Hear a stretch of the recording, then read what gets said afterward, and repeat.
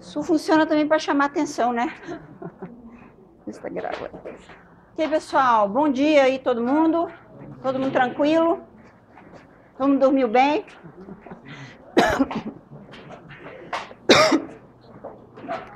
É, deixa eu entregar aqui as folhas para vocês.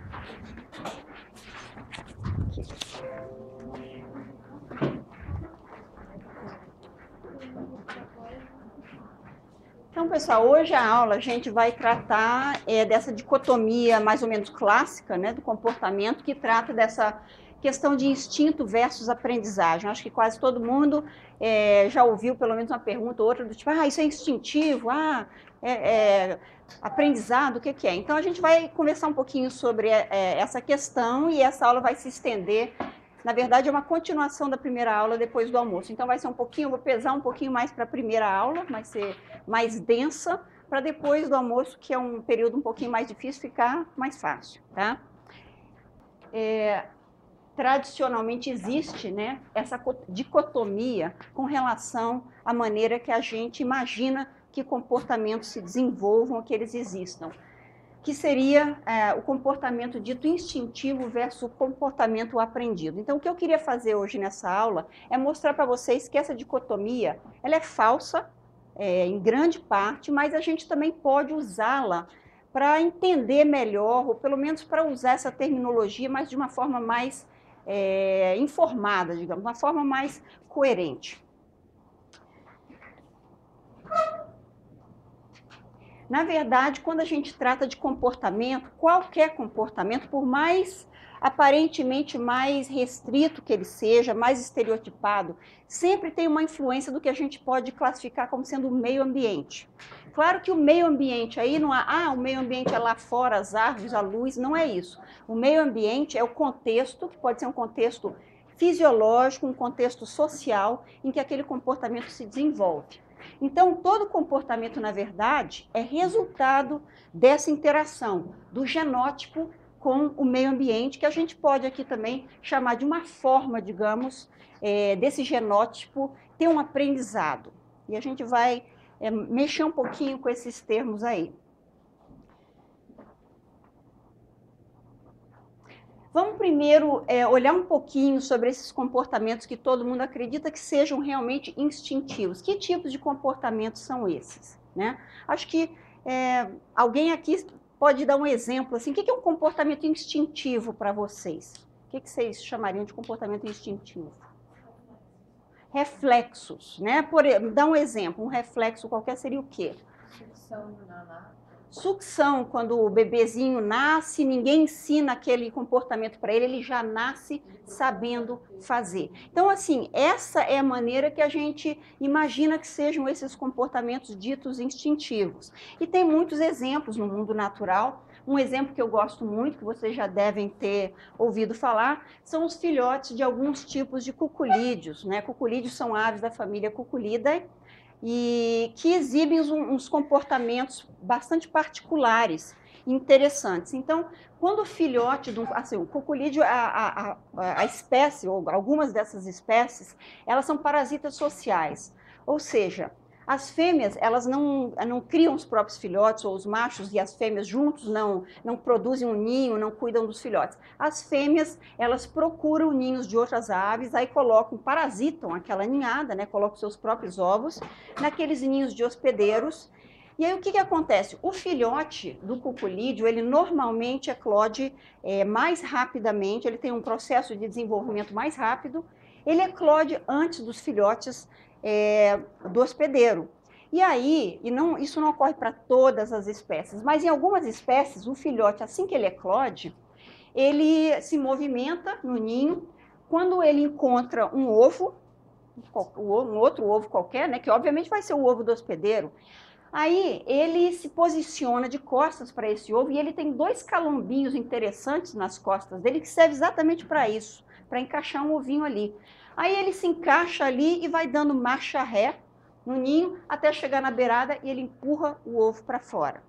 E aí ele faz isso subsequentemente até não ter mais nada no, no ninho. Ele está agora sozinho, podendo curtir a vida sozinho ali como único filhote desse hospedeiro. E muitas vezes chega a ser uma coisa absurda que nós estamos vendo então um filhote, aqui é o ninho dele. Esse é o filhote do cuculídeo, que é um pouquinho grande, né, considerando os pais dele, os pais é, parasitados que ficam histericamente tentando alimentar esse monstro. Tá? Então, é, nessa situação, nós temos exatamente isso que acontece, que é um comportamento de um filhote de cuculídeo. Ninguém ensinou aquilo para ele. A mamãe dele não deu aulinhas antes. Olha, quando você eclodir, filhinho, faça aí A, B e C. Não, ele já nasce sabendo fazer exatamente aquilo que ele tem que fazer. Tá? Então, isso seria um exemplo, digamos, de comportamento dito instintivo. É, outros exemplos interessantes nesse sentido seriam, por exemplo, fratricídio. Né? Fratricídio é um nome que, por exemplo, em inglês é fratricide, é um nome mais que vem, pessoal da Inglaterra ou da Europa usa mais esse termo, fratricide, enquanto que nos Estados Unidos eles usam mais siblicide, que é irmão, né? Seria, é, digamos, o, o assassinato de um irmão. Isso ocorre em vários grupos de aves, é, garças, atobás, é, algumas corujas, é, gaviões, águias, tá? Então tem vários grupos animais essa questão do fratricídio. O que, que acontece com relação, por exemplo, a fratricídio em garças, tá?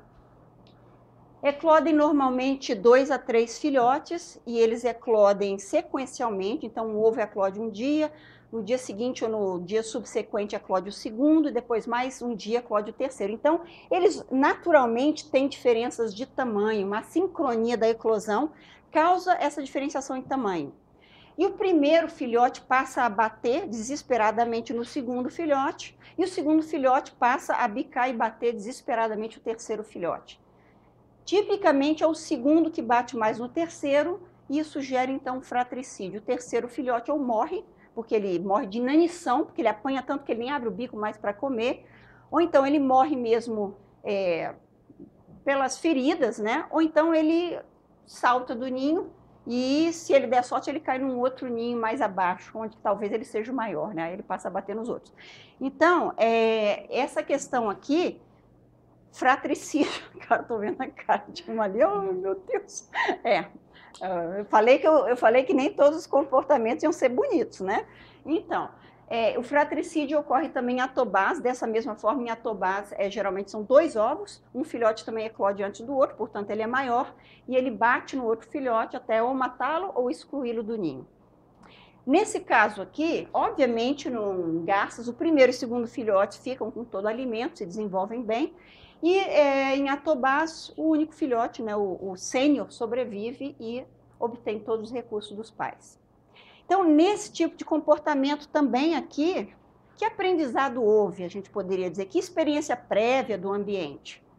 Os pais aqui não interferem em nada, não ensinam, nem falam, nem mostram, não obstruem o comportamento dos filhotes mais velhos que estão batendo no menor. Eles alimentam quem abriu o bico primeiro e maior, tá?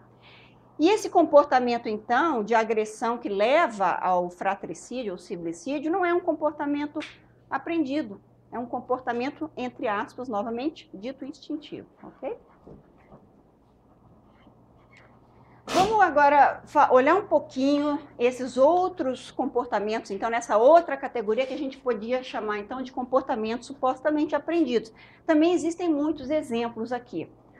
A gente sabe que se você é, der um alimento tóxico, por exemplo, para um, um anfíbio qualquer, um sapo, e o sapo passar mal depois, ele vai passar a evitar esse alimento. Então, ele aprende a associar, ele faz essa associação entre um alimento que ele comeu, que na hora podia parecer até ok, e uma sensação desagradável que veio depois. Aliás, nós também fazemos isso, né? Eu me lembro uma vez que eu tomei umas caipirinhas de várias, é, maracujá, coco, não sei o que, mas eu passei bem mal depois. E eu passei bastante tempo sem querer nem ver uma caipirinha, daquelas, né, aquele tipo. Enfim, a gente sabe que muitos animais fazem essa associação entre um alimento e depois uma sensação ruim, uma, uma toxidez qualquer e eles passam então a evitar aquele alimento. Então eles aprendem essa questão. É, isso é, pode ser tão importante em alguns casos que, por exemplo, ratos, se o rato come alguma coisa e ele passa mal, ele realmente passa a evitar aquele alimento de todas as formas. Tanto é que é, eles aprendem também olhando outros ratos. Então, se, um, se ele está ali e um outro rato come uma substância e aí morre ou passa mal, aquele, aquele primeiro rato ali evita aquele alimento também. Ou seja, ele aprende por tabela. Então, por isso que venenos de ratos têm uma ação é, mais longa, né? Só, só vem a ação depois. Porque senão toda a população de ratos vai evitar aquilo logo de cara. Porque se um outro rato comeu e morreu, então ele não vai comer.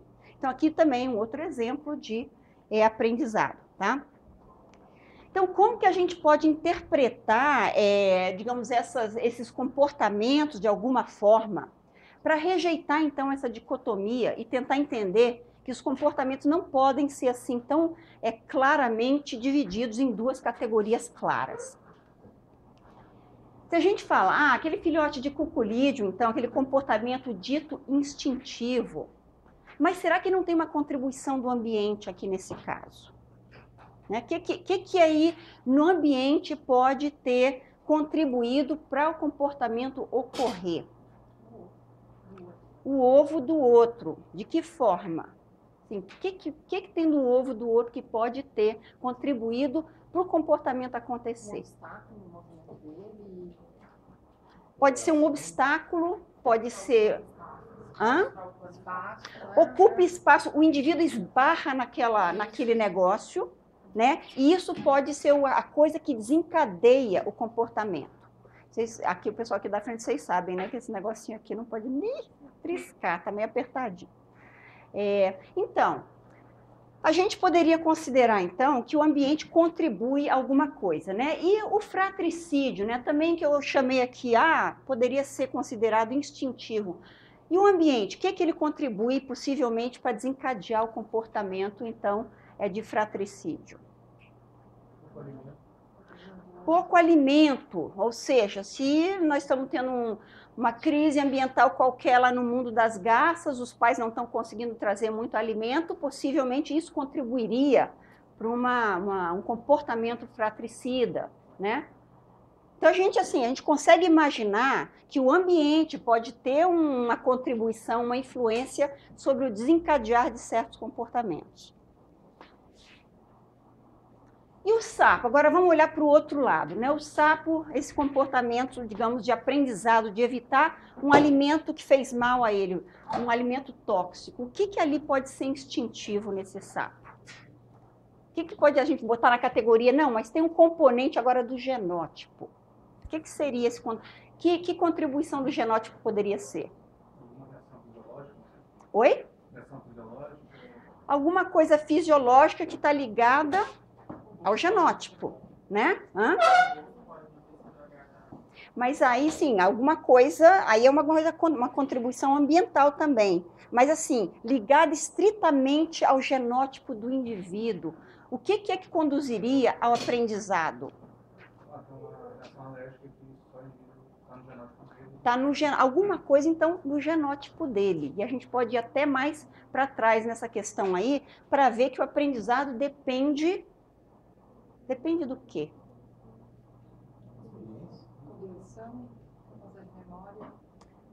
Aprendizado depende do cérebro, tá? Que é, obviamente, um reflexo é, do genótipo também. Então, a gente vê que a gente pode é, interligar essas coisas. Então, se a gente for é, olhar essas questões aqui, vamos pensar nesse cocolídeo aqui quais são as possíveis contribuições, então, que o ambiente pode ter tido para desencadear um comportamento supostamente instintivo. Então, a gente pode até pensar, esticar um pouquinho mais as coisas aqui, imaginar o seguinte: esse filhote ele se desenvolveu dentro de um ovo onde ele já estava exposto a um ambiente. E dentro desse ovo tinha uma gema. E a gema contém uma série de substâncias que são muito importantes. Eu vou falar sobre isso daqui a pouco com as garças. Então, a gente pode considerar que a gema do ovo era um ambiente e que pode ter contribuído para desencadear algum tipo de comportamento, eventualmente algum tipo de elemento nessa gema. É, o próprio alimento no ninho vai ver que só desencadeia esse comportamento dele a partir da primeira alimentação que os adultos fizeram com esse filhote. Aí ele começou a procurar outros ovos no ninho. É, contatos táteis, como a gente mencionou aqui, ele esbarrou em outro ovo e tinha que ser uma substância lisa, talvez, um pouco curva, para ele encaixar as costas dele. Vai ver que se ele esbarrasse num, cubinho dentro do, do ninho, ele não ia ter essa resposta comportamental. Tá? E com relação, então, ao fratricídio, né, o que, a gente pode imaginar aqui que seriam contribuições também desse tipo? E uma coisa que aqui já foi descoberto, que eu achei muito interessante, eu lembro até o ano em que saiu essa publicação, foi 1996, é, que o Hilbert Schwab publicou um trabalho mostrando que a testosterona que existe dentro da gema dos ovos, ela é, é um fator crucial para modular o comportamento do indivíduo pós-eclosão. E ele mostrou, junto com um cara chamado Doug Mock, que é, em garças, o primeiro ovo tinha quase o dobro da quantidade de testosterona que o último ovo. Essa testosterona, então, já é, modificava o comportamento que iria ocorrer no filhote que tinha essa quantidade dobrada de testosterona. Esse filhote era um filhote mais agressivo. Tá? Então, aqui, essa contribuição do ambiente estava já sendo é, realizada, na verdade, pela fêmea, né, que estava fazendo, investindo essa quantidade de testosterona já bem maior nesse primeiro ovo. Oi, Caio. Eles falam dos filhotes de rato com a quantidade de testosterona. Isso, assim, a, o ambiente, assim, a pergunta, não sei se todo mundo ouviu a pergunta aqui, não, né? É, ela perguntou se isso aqui estaria relacionado, então, com a quantidade é, de testosterona que ocorre, por exemplo, no ambiente uterino, né, com ratinhos. E sim, é, a gente hoje em dia sabe que o ambiente uterino, inclusive, ele é super importante para desencadear é, mudanças comportamentais e outras características subsequentes até na vida adulta. Tá? Então a gente tem que considerar que o ambiente não é só o ambiente que o indivíduo está interagindo naquele momento, alguns dias. Não. Esse ambiente ele precede até às vezes a eclosão, quando é uma ave, precede o nascimento do indivíduo. Aquele é um ambiente também que existiu, que modificou uma série de questões fisiológicas naquele organismo.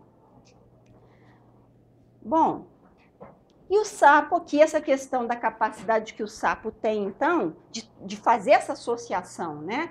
De ligar é, um alimento tóxico e aprender a rejeitar esse, esse alimento, é uma questão que está ligada ao cérebro. O indivíduo, para poder aprender, ele precisa de um mínimo de, de cérebro ali para fazer essas associações. Tá, tá faltando cadeira? Pegue ali da sala ao lado. Bom,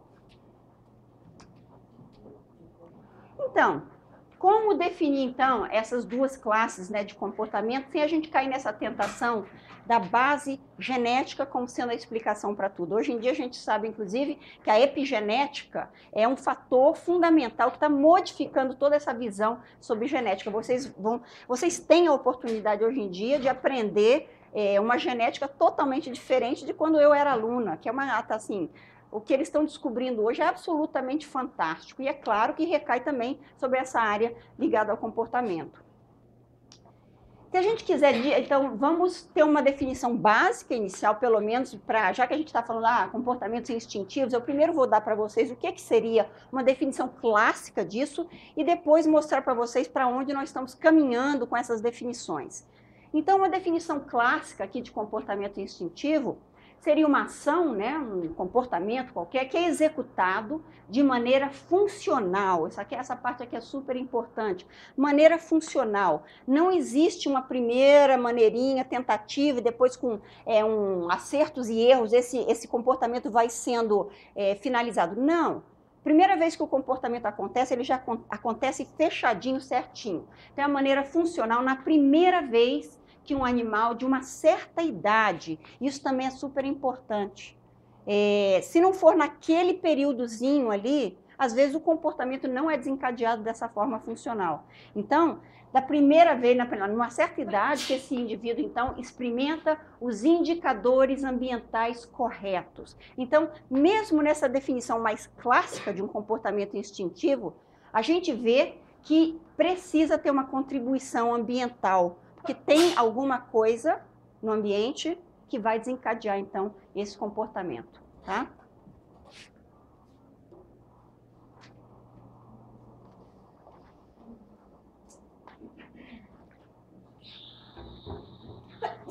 Novamente, pessoal, se eu estiver indo muito rápido, é uma coisa que eu faço e tenho, vocês podem falar, ei, professora, por favor, mais devagar, tá?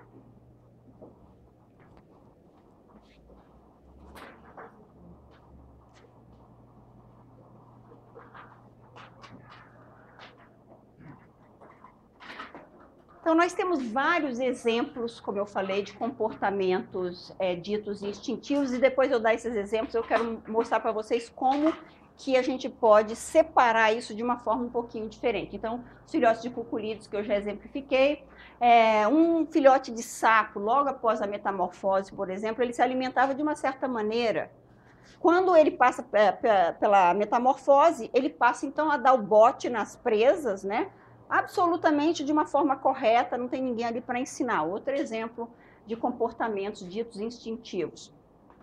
Voltando à questão dos cuculídeos, os cuculídeos são muito bons para isso, porque como os filhotes se desenvolvem na ausência dos pais, e mesmo na ausência de uma população de outras aves da mesma espécie que eles, eles são exemplos maravilhosos de coisas que acontecem aparentemente sem grandes explicações. Mas a fêmea, por exemplo, de um cuculídeo, ela assume a posição de cópula a primeira vez que ela escuta o canto de um macho da espécie dela. Ela nunca viu um macho da espécie dela, afinal de contas, ela é criada é, por adultos de uma outra espécie. Inclusive o macho também, cuculídeo, ele sabe cantar o canto da espécie dele também, sem nunca nem ter ouvido o canto da própria espécie. Então são exemplos desses comportamentos supostamente instintivos. Quer ver um exemplo bem interessante? Se vocês forem num, é, zoológico vocês podem experimentar isso daí, e é bem é interessante. Eu não sei se, se acontece com outras espécies, mas vocês podem tentar com cisne, com algum outro, mas aconselho botar um capacetezinho, talvez, para ajudar, tá? Mas, por exemplo, se você pega, tem um ganso que está é, em cima de um bando de ovos ali, incubando os ovos, se você é, bota um, pega um ovo de baixo, e muitas vezes não saem, tá? realmente não sai. Você puxa aquele ovo a uma distância, sei lá, de uns 50 centímetros, é, geralmente é a fêmea. O que, que a fêmea faz? Ela rola esse ovo de volta para debaixo dela, tá? Hã? Eles vão, vão fazer o movimento, vão rolar. Mas, se você experimentar retirar esse ovo na metade do caminho, ela vai continuar com esse movimento num ovo invisível, tá? Então, assim, isso é uma outra coisa interessante que observadores, pesquisadores descobriram, é o seguinte, que comportamentos não são necessariamente ligados a um raciocínio dinâmico, a um, a um, sei lá, um pensamento dinâmico controlando aquele comportamento. Uma vez desencadeado, o comportamento é como se ele fosse segmentado, ele, ele finaliza.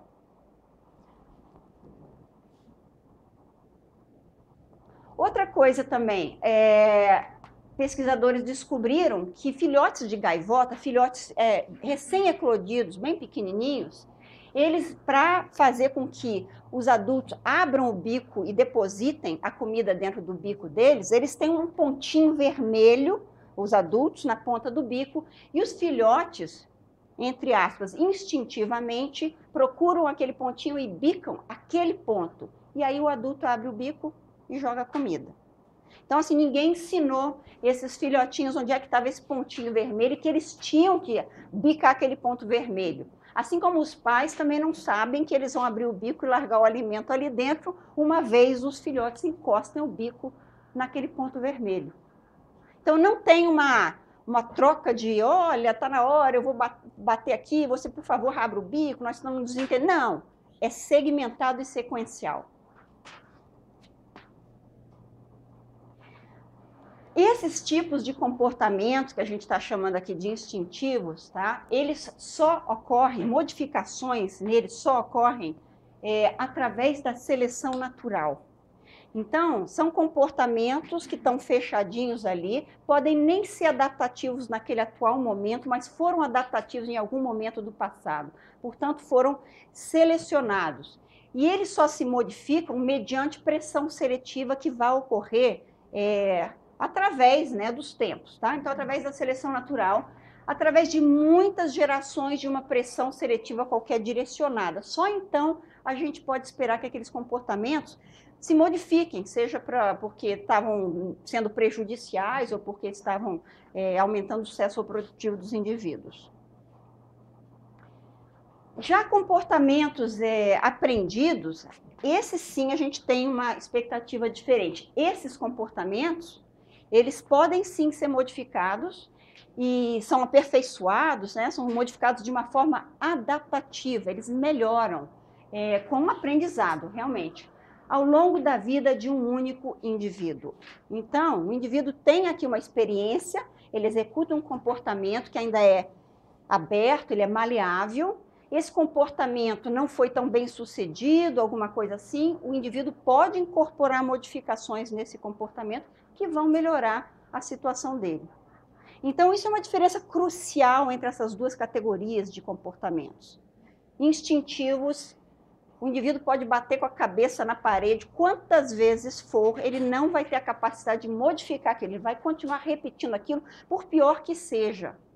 Você pode treinar o ganso ali quantas vezes você quiser, você tira o ovo, ele vai continuar fazendo aquilo. Você pode fazer isso 500 vezes e vai continuar fazendo aquilo.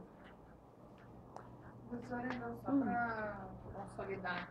Então quer dizer que não, não, não existem comportamentos puramente instintivos, eles dependem de algum indicador do ambiente para ocorrer. Eles, hoje em dia, é essa interpretação que a gente tem, de que um comportamento, mesmo que a gente ache que ele é totalmente fechado e tudo, alguma contribuição ambiental teve, até no desenvolvimento do indivíduo. Isso, de repente, também explica muito essa questão do porquê comportamentos instintivos, mesmo quando eles não são vistos como adequados pelos donos dos animais, a gente não consegue distinguir. Muito difícil não distinguir. Consegue uhum.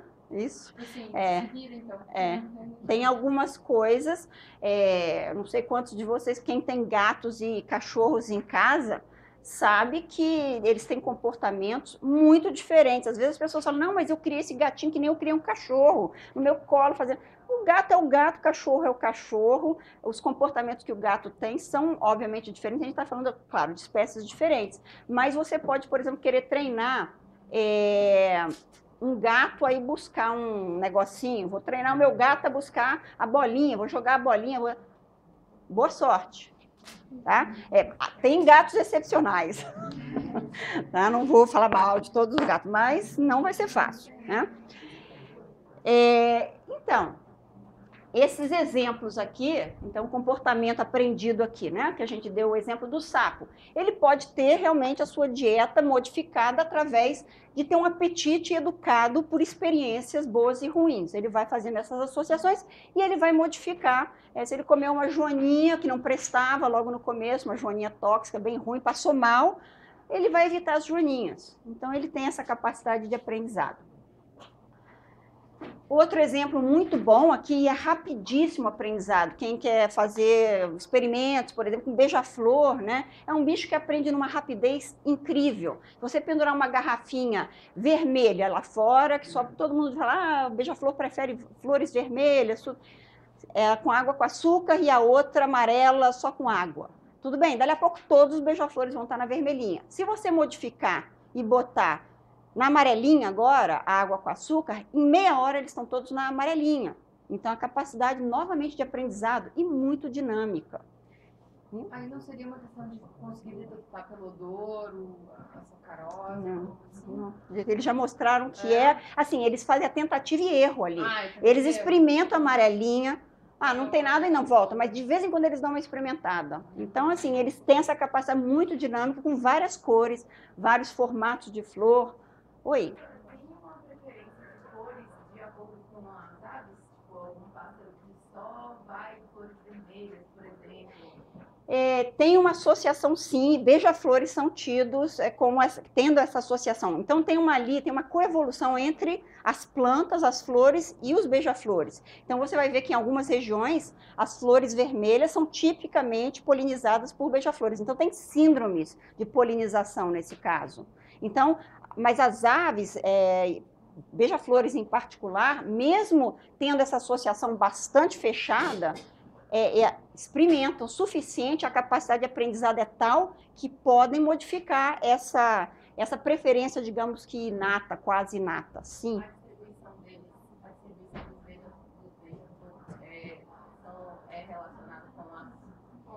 Sim, sim, com as beija, inclusive com o, eu não sei se todo mundo ouviu a, a pergunta dela, se a distribuição dos beija-flores está relacionada com a distribuição dos tipos de flores, é isso? é, não só com relação à cor, mas com relação à morfologia floral também.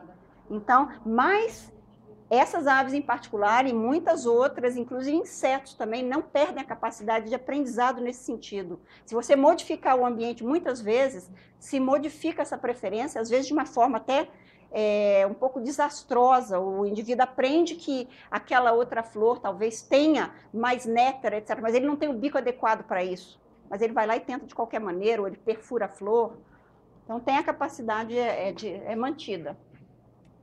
Bom, é, o Alcock, se vocês é, pegarem para fazer essa leitura sobre essa questão do aprendizado versus comportamentos ditos mais instintivos, ele propõe uma alternativa a essa dicotomia. Ele não é o único. Né? Nós temos outros, outras propostas vigentes sobre como classificar esses comportamentos. Mas eu gosto da dele porque eu acho que é um pouco mais simplificada e, e ele explica direitinho. Então, a alternativa dele, e eu vou falar um pouquinho sobre as três categorias que ele propõe, ele, ele propõe três categorias diferentes para se classificar é, comportamentos. E aí é uma coisa um pouco didática, porque existem exemplos de comportamentos que você poderia encaixar numa categoria ou outra. Então não é uma coisa tão fechada. Mas ele propõe primeiro uma primeira categoria que ele chama de programa restrito de desenvolvimento. A segunda categoria, programa semi-restrito de desenvolvimento. E a terceira categoria ele chama de programa flexível de desenvolvimento. Então, seriam três categorias que abarcariam desde os comportamentos obviamente, mais restritos, né, na, mais para o lado do instintivo, até é, comportamentos se encaixariam no outro lado desse espectro, que seriam comportamentos mais flexíveis. Vamos falar então do primeiro, primeira categoria, tá? programa restrito de comportamento. Quais tipos de comportamentos, então, caem dentro dessa categoria? Então, aqui são comportamentos que, é, mesmo precisando de algum estímulo ambiental, aqui ele, ele mostra que mesmo esses comportamentos nesse lado do espectro precisam de um mínimo de estímulo ambiental ou sensorial, mas são mínimos, né? Então, é uma coisinha ambiental que precisa acontecer. E são comportamentos, então, que é, nesse momento, quando eles se desenvolvem, eles são altamente canalizados, ou seja, são comportamentos naquela categoria que eu mostrei primeiro. Ah, são esses que a gente considera os instintivos mais clássicos. Sim, são comportamentos canalizados, é, praticamente inflexíveis. Uma vez é, estabelecidos, não conseguem mais ser mudados. Tá? Tenta ensinar alguma coisa diferente, não vai funcionar. Então, seria esse extremo aqui. Aqui nós temos... Ah, o comportamento das matrizes de fazer ninho entraria aí. Das? Das matrizes suínas, por exemplo, que muitas vezes elas exibem todo um repertório comportamental de montar, tentar montar um ninho uhum. numa gaiola totalmente estéreo, sem nenhum substrato, e elas ficam ali tentando revirar, revirar pelo estímulo ambiental, fisiológico, uhum. do desencadeamento uhum. Muitos comportamentos caem aqui, né? São comportamentos que, como vocês vão ver com os exemplos que eu vou dar, são comportamentos muitas vezes estritamente necessários à sobrevivência ou à reprodução, que são os dois critérios mais importantes. Então, o animal é, precisa daquele comportamento sem ter tido muita educação né, para mudar aquele negócio, sem estímulos muito específicos. A gente tem muitos exemplos aqui, além desses que eu já falei aí, né, dos cuculídeos, do fratricídio, etc. Eu vou dar mais alguns exemplos aqui. É, então, essa, essa cobrinha aqui, a Thamnophis, que em inglês chama-se garter snake, elas têm uma, uma presa preferencial, que são lesmas. Né? Então, o, estudos mostraram, por exemplo, que um filhote é, dessa cobra aqui, a primeira vez que você apresenta para esse filhote uma lesma, essa cobra dá o bote. Pá! Tá? Nunca viu uma lesma na vida. Se você der uma outra, um outro bicho qualquer, meio que ignora, mas uma lesma, o filhote que nunca encontrou uma lesma antes, e nem nenhuma convivência com outros indivíduos adultos da mesma espécie, o filhote vai dar o bote em cima da lesma. Aliás, se você apresentar um algodão que foi esfregado na lesma, também dá o bote. Então, aparentemente, é, é olfatório o estímulo. Pá, apareceu o estímulo correto. O cheiro da lesma, o bicho dá o bote. Não precisou de aprender nada. Então, seria um exemplo desse programa restrito né, de, de desenvolvimento. Então, tem dois grandes nomes que, de pesquisadores que são muito conhecidos associados a esse tipo de comportamento, na época chamado de instintivo, que eu estou agora chamando de restrito. Quem são essas duas pessoas? Dois pesquisadores. Alguém falou aqui no, na vez passada, mencionaram ele. Muito conhecido, se alguém quiser dar uma olhada. Né? tá? É, o Conrad e o Tim Bergen, né? As quatro perguntas de Tim Bergen, é, esse carinha aqui, né? O Conrad Lawrence. Vocês, cada vez que verem, se vocês botarem no Google Lawrence, ele vai sempre aparecer com os gansos, tá? É, eles são os pais, digamos, da etologia. Eles são os pais dessa categoria de comportamentos instintivos, porque eles mostraram e falaram muito sobre esses tipos de comportamentos.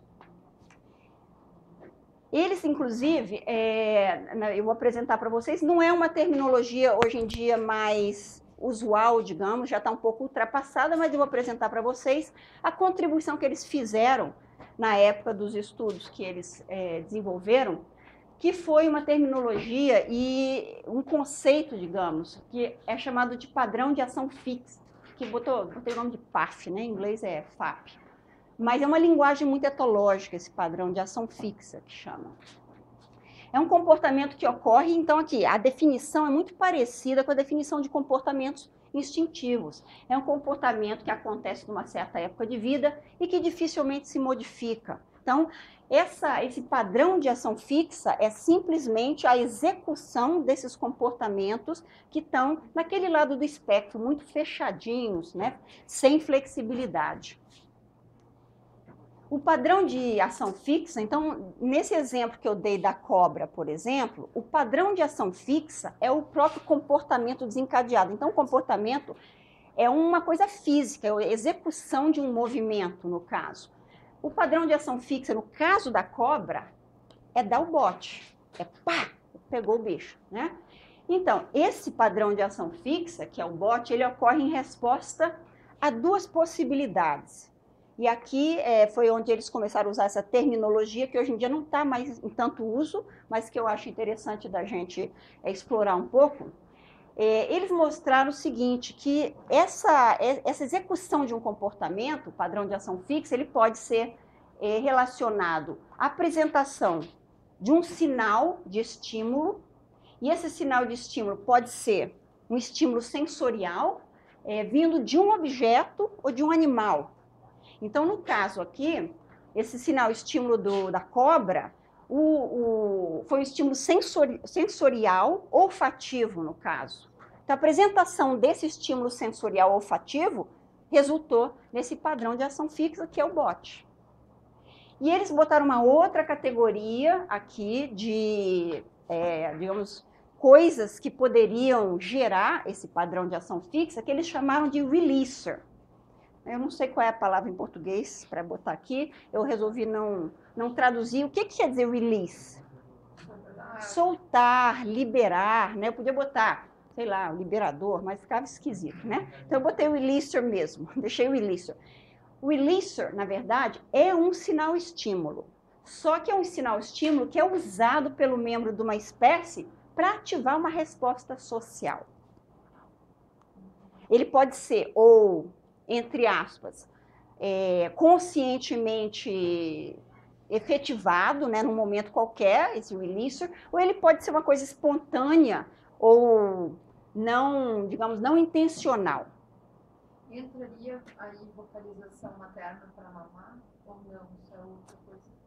Sim, poderia ser considerado um releaser aqui, e outras categorias também, né, dependendo. Cheio, e aí normalmente vocalização, e aí Tem uma questão do olfato também. Está falando de mamar, né? Por exemplo, se você pega um neném é, todo mundo sabe que já quem não pegou um neném na vida antes, né? Mas se você fizer assim na bochecha dele, ele vira a cabeça, é. né? É um releaser, tá? É, eu posso soltar um releaser aqui na agora e ver uma resposta de vocês. Hã? Tá esperto esse cara aqui. Eu vou promover você para a primeira fileira. É, eu É, um releaser, por exemplo, é um bocejo. Tá? É um releaser que tem uma resposta de outros indivíduos. Aliás, não é nem intraespecífico. Só de eu falar de bocejo, botar um bocejo. Um, se você vê um cachorro bocejar, você às vezes boceja, tá? então, vocês verem que tipo de estímulo que vem dessa forma, como é interessante isso, e vai, então, resultar num comportamento subsequente. Então, a gente pode, assim, de uma forma mais é, didática, né, visual, ver o seguinte: sinal, estímulo e releaser são, na verdade, duas categorias que têm uma sobreposição, às vezes, muito grande. É difícil de você realmente saber ah, o que, que isso é uma das críticas que foi feita subsequentemente. O que, que exatamente é um sinal de estímulo? Porque, na verdade, o releaser é um sinal de estímulo. Só que muitas vezes esse releaser ele está imbricado, digamos, ele está dentro de um contexto mais social. Então, se a gente quiser visualizar qual é a diferença de sinal de estímulo para o releaser, é porque o releaser está mais num contexto social, muitas vezes envolvido em corte, em outras é, questões de associação, de relação entre indivíduos. Enquanto que o sinal estímulo pode ser um objeto inanimado, inclusive. É, a gente tem aqui exatamente isso, né? Sinal estímulo, aqui, visualização, a aranha aparece, Padrão de ação fixa, o bicho olha, abre a boca, pá, dá o bote. Ok? É, vou mostrar para vocês como que isso aqui pode funcionar de uma maneira sequencial, um exemplo de corte. Então, aqui eu vou mostrar uma sequência de padrões de ação fixa na corte de acasalamento desse peixinho. É o... Não sei o que, gato, como é que é o nome desse bicho, o nome comum dele? Não é papagato, não, é tem um nome estranho assim, me lembro agora. É o Gasterosteus aculeatus. Então, tem uma série aqui de é, padrões de ação fixa e sinais e estímulos que vão se seguindo uns aos outros. Então, começa, por exemplo, o macho vê uma fêmea. Esse aqui é o macho, com uma listinha vermelha na barriga. Oi? Não, tem um nome. Eles, fazem, eles começam a andar em zigue-zague. Não, mas isso é muito, muito comum, é assim, esse tipo de né, dança, de corte, tudo é bastante comum. Aqui eles já têm uma sequência já mais é, estudada, então eles já puderam ver direitinho como é que funciona. Mas então, o macho primeiro ele vê a fêmea, aí ele inicia uma dancinha de zigue-zague. Essa dança de zigue-zague, você podia até falar, não, mas a fêmea também já é um ilício, tá? Pode ser. Mas vamos começar com a dança dele. Essa dança, é o sinal estímulo aqui no caso. A fêmea, então, ela vai ver o macho fazendo essa dança, que é um sinal estímulo, e ela vai ter uma resposta comportamental que se segue, estereotipada também. Ela vai olhar o macho, aquela dancinha, e ela vai apresentar uma barriga inchada. Então, ela vira o corpo e apresenta a barriga dela, que está cheia de ovos, no caso.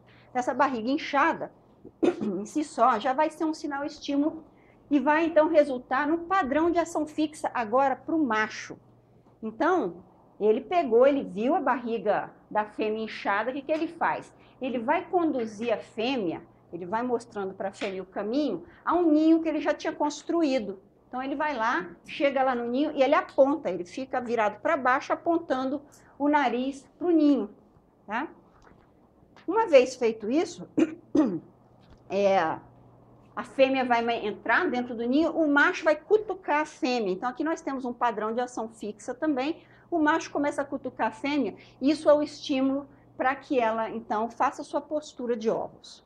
Então, se você retirar qualquer um desses passos aqui nessa sequência, o negócio degringola e tem que começar do começo de novo. Tá? Eu, eu, sempre lembro de uma vez, eu estava na... Foi, foi em Ilhéus? Sei lá. Eu estava vendo aquelas igrejas antigas, passeando, e tinha uns garotinhos que ficavam lá falando a história daquela igreja. Então, ele conta a história desde 1600 e tanto. Não sei se vocês já, já foram em monumentos históricos onde tem essas crianças que memorizaram tudo. Pois eu fiz um aprendizado muito interessante. Se você interromper o garoto ali com uma pergunta, professores também talvez funcionem assim. Se você interromper ali o garoto com uma pergunta, você está lascado, porque ele vai ter que começar tudo de novo. Tá? Ele não segue a sequência. Aliás, quando você dá um número de telefone também, não tem um negócio desse. Ou então numa língua versus a outra, você também empaca ali no meio. Então, isso aqui é parecido nesse sentido, só para a gente fazer uma analogiazinha, o que, que é que está acontecendo. Mas dependendo do macho da fêmea, o release para um vai relacionar isso, é. Uma coisa vai se encadeando na outra e constrói um repertório onde uma coisa, que é um padrão de ação fixa ponto, do ponto de vista do macho, é o releaser para o próximo padrão de ação fixa e assim por diante. Tá? Ah. Eu não entendi a diferença do sinal O releaser é uma coisa mais num contexto social. Então, é um, é um sinal estímulo, só que é dentro de um contexto social. É um sinal estímulo. É um sinal estímulo, na verdade, só que num contexto social. Se em vez desse macho com a barriga vermelha, eu apresentasse para a fêmea aqui uma fita vermelha, eu não sei, eu estou chutando, tá? Porque eu não fiz esse experimento. Mas possivelmente a fêmea ia mostrar a barriga dela. Aí, nesse caso, a gente fala, não, mas então é só um sinal estímulo, que é um objeto inanimado, digamos. Ok? Bom, é, esse padrão de ação fixa, em alguns casos, pode ser uma coisa extremamente simples, é um comportamento bem segmentado, bem simples, mas ele pode ser também um comportamento muito complexo. E ele pode ser um comportamento complexo enquanto que esse sinal estímulo ou release foi uma coisa extremamente simples. Às vezes você vê, ah, aquele macho ali está fazendo um comportamento zigue-zague, mostrando a lista vermelha, fazendo isso, fazendo aquilo. Se você for tirando esses componentes todos, é capaz que você consiga reduzir aquele é, sinal estímulo ali, ou aquele release, a uma, um único componente que realmente era importante para induzir aquele comportamento tão complexo. Isso é uma das coisas que o pessoal que trabalha com comportamento gosta de fazer, é de ver exatamente qual é aquela coisinha que libera o comportamento, às vezes, muito complexo. Exemplo disso aqui, é, muitos, muitas espécies de aves, de aves, o macho pode ser induzido à cópula por um ilício muito simples, que é as penas da cauda da fêmea na posição correta, num certo ângulo. Então, pesquisadores demonstraram que se você pegar só a cauda, né, pega uma cauda de fêmea taxidermizada, e você espetar isso numa massinha e você botar num certo ângulo, o macho vai lá tentar copular com aquele, aquela massinha ali com a cauda, só porque a cauda está naquele ângulo. Então, o ilício nesse caso aqui, para um comportamento, às vezes, até de corte ou de início de cópula, foi um ângulo de umas penas. Então, a gente pode ter muitos exemplos assim. Olha aqui outro, tá? Um ilício com padrão de ação fixa, que também já foi testado. É, muitas dessas coisas foram testadas, inclusive, por esses pesquisadores mais clássicos, né, antigos, mas que até hoje são bons exemplos desse, desse tipo de coisa. É, nós temos aqui um, macho taxidermizado de sabiá, ele está inteirinho, só que o peito dele aqui foi pintado de branco, clarinho, enquanto que do lado dele foi colocado um chumaço de algodão com a cor avermelhada. Isso foi introduzido num território de um outro macho, um território de um indivíduo vivo. Esse indivíduo aqui, ele passa a atacar esse chumaço aqui, meio avermelhado, ignorando um bicho muito mais completo que está do lado dele, que tem cabeça, tem pata, tem olho, tem tudo. E é da espécie dele, mas ele ignora esse aqui e ataca esse chumaço avermelhado. Então, no caso aqui, a gente pode condensar. Esse aqui é o exemplo do releaser, é o que, que é que tem um macho, um macho verdadeiro, que vai induzir o comportamento de agressão? Um papo vermelho. E assim a gente tem vários outros exemplos. É, Aqui também um outro exemplo clássico foi a introdução de uma cabeça de um cuculídeo. No mundo natural, ninguém gosta de cuculídeos, nós sabemos disso. Não tem passarinho que simpatize com esse bicho. No caso aqui, basta a cabeça de um cuculídeo. Aqui o pesquisador usava uma varetinha assim, uma cabecinha de cuculídeo. Quando ele entrava dentro do território dos outros bichos, as outras aves passavam a atacar essa cabeça sem um corpo. Tá? Não conseguiam visualizar que aquilo ali. É... Aqui o exemplo que eu dei para vocês, né, que foi é, o, o, estudo clássico foi feito com iterídeo, agelaios fenícios, onde é, a, a, botava um espetinho aqui com um chumacinho de pena e a caldinha numa posição certa e os machos iam lá copular com, essa, com esse pedacinho aqui de penas. É, um outro exemplo clássico, se eu não me engano, é que foi o Tim Bergen que contou isso e também e talvez levou ele a pensar sobre esse assunto todo. Ele foi nadar num riacho, alguma coisa assim, é, e aí, quando ele saiu, ele se vestiu, pegou o calção dele para torcer, para sacudir, e era um calção preto. Quando ele sacudiu o calção no ar, ele foi atacado por uns pássaros pretos. Aliás, o calção dele foi atacado. Tá? Então, assim, ao mesmo tempo, se você colocar um filhote que não tem penas, é, frente a. Pode um filhote estranho, que talvez devesse ser atacado, porque é um filhote não reconhecido, é, ele não é atacado por um adulto, por exemplo. Então, os releases aqui são todos exemplos de coisas muito simples, estímulos muito simples, mas que podem levar a um comportamento que você imaginaria, nossa, um comportamento de agressão ou de copo, uma coisa mais complicada, é, é liberado por alguma coisa muito simples. E com base nisso, a gente vê então uma série de exemplos onde é, o ilícitos são necessários para que é, as, os indivíduos executem as coisas da forma correta. Aqui tem um exemplo de uma aranha, aranha-lobo. Os sinais de corte, eles se seguem numa sequência, parecido com aquela história do peixe, e se forem interrompidos, eles têm que começar tudo de novo.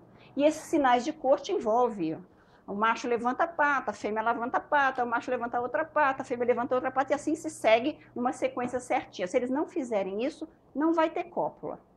Ou se você interromper, eles vão ter que começar de novo. Aranhas também são muito boas para tra trabalhar com essas coisas. Né? Tem um outro exemplo que eu acho bem interessante, que é nessa aranha aqui, Tisticus cristatus, onde o macho, essas é, fêmeas tendem a ser muito agressivas, possivelmente canibalizam o macho, é, se não reconhecerem esse macho como um, um parceiro para a cópula, e sim como uma presa, ele pode acabar uma presa e elas são bem maiores que os machos. E como parte do ritual para o acasalamento, o macho tem que amarrar essas teias em volta da fêmea. Não que a fêmea não conseguisse arrancar essas teias todas e comer o macho ali na hora, acabou com ele. Mas é certo que se ele não fizer isso, isso vai acontecer, ele vai virar a presa da fêmea. Então, ele faz a corte direitinho, vai amarrando aqui os fiozinhos de seda e a fêmea fala: Ah, sim, esse é o macho que eu vou copular e não vou jantar, tá? Então, é, faz parte. Outros exemplos aqui também de corte, nessa espécie também de aranha, Pisaura mirabilis, o macho, para conseguir é, copular com a fêmea, ele precisa dar para ela um presente nupcial. Né? Então ele arruma uma presazinha qualquer, embrulha essa presa com seda e leva lá para a fêmea, presentinho. Também provavelmente não faz grandes diferenças. Ah.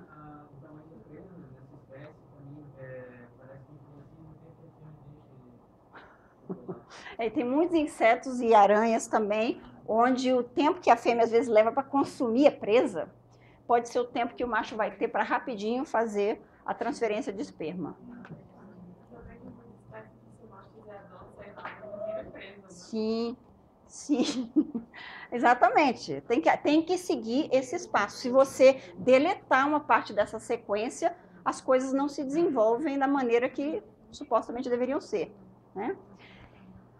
Então, isso tudo, é, esses exemplos todos, é, eles propuseram, o Lorenz e o Timbergen, propuseram então que como são comportamentos desencadeados por é, estímulos muito simples, e é uma coisa muito rápida e muito fechadinha, que esse sinal de estímulo, ele estimularia unidades especiais no sistema nervoso, é, e que isso então desencadearia o padrão de ação fixa. Eles é, queriam mostrar de que não necessariamente esses estímulos iriam necessitar de transitar por todo o sistema nervoso central para desencadear esse comportamento. Seriam coisas é, eficientes e rápidas. E é, na época, é claro, isso aí foi uma proposta mais ou menos teórica, sem grandes consequências empíricas, mas que anos depois pesquisadores continuaram olhando para mostrar como é que seria. E as pesquisas neurológicas, até de hoje em dia, mostram que eles estavam corretos nesse sentido. Que tem muitas respostas é, que ocorrem mediante um, digamos que um atalho né, neurológico. Então, por exemplo, o sistema nervoso de grilos, ele produz uma, uma, resposta correta de canto, né? Que é quando, quando os machos é, raspam uma perna na outra, eles têm como se fosse um violinozinho, violinozinho ali que eles cantam, né? É, mesmo quando você retira a, a parte sensorial do grilo, ele executa esse comportamento de canto. E eles chamaram isso de fitas de canto, é, que estariam localizados nesse grupozinho de axons umas poucas células nervosas. Então, essa resposta aí não necessitava, digamos, que esse estímulo chegasse ao cérebro para é, produzir essa resposta comportamental. Na verdade, era algo assim, também esquematizado aqui. O estímulo, então, fazia essa, é, esse estímulo dos axons, das células nervosas. Esses é, estímulos, eles eram transferidos até um gânglio torácico, e depois isso então gerava a resposta do movimento das pernas com as asas que produzia o canto. Então, quando você ouve o canto, você fala, nossa, que coisa mais complexa, modulada. Não, foi uma resposta ali que vai até um gânglio, o estímulo e já volta uma resposta. É, então, assim, uma coisa bastante simplificada nesse sentido. Eles mostraram, inclusive, que mesmo retirando o cérebro desses indivíduos, eles conseguiam executar o canto é, com o estímulo correto. Então, mostrando que tem um, um bypass, digamos, do sistema nervoso central na resposta comportamental. Claro que isso aqui foi feito com grilos, tá, pessoal? Eu não estou sugerindo que todos os outros, se você retirar o cérebro de, um, de, um, de uma ave qualquer, que ele vai estar a resposta comportamental, que sejam todos os padrões de ação fixa, ocorram dessa forma. Isso aqui é um exemplo de um que foi é, estudado. Aí a gente pode se perguntar por quê? Né? Então, eu mostrei isso aqui, essa categoria, mas aí a gente fala, nossa, mas que coisa, por quê? Né? Por que isso? Né? Por que, que a evolução teria produzido esses tipos de comportamentos tão padronizados, canalizados, ritualizados, que não podem ser modificados? Né? Ou seja, comportamentos que não precisam de uma grande contribuição ambiental. Por quê?